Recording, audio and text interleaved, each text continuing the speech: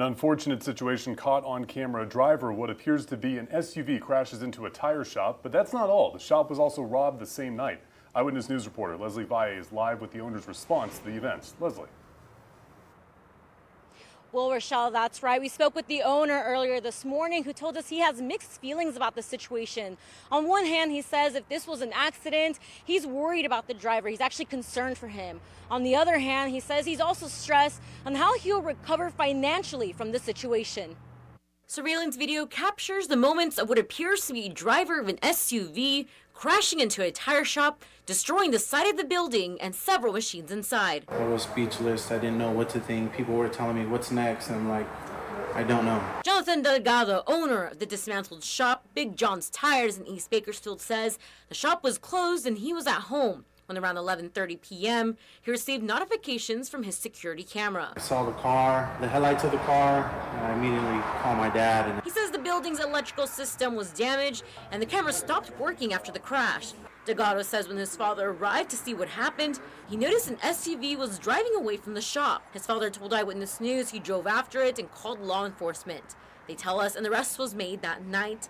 We reached out to the Kern County Sheriff's Office, but they were not able to confirm the arrest. When Delgado arrived, he says the damage wasn't the only thing he found. Several things were stolen as well. A torque wrench, uh, nothing big, very small.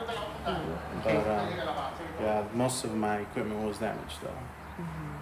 Um, equipment like your tire racks, just just name a few things. Uh, tire machine, tire racks, uh, balancer machine. He says one machine costs over $10,000, but the total damages will cost him tens of thousands.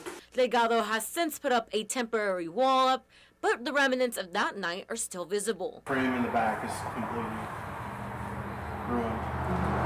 So then what else was, so this is just one. This is one, this is another tire machine that was damaged too. For Delgado, he says, if this was truly an accident, he's not upset at the driver. He hopes he's okay, but he's worried about his tire shop that's more than just a family owned business. This is where I eat from, where my family eats from.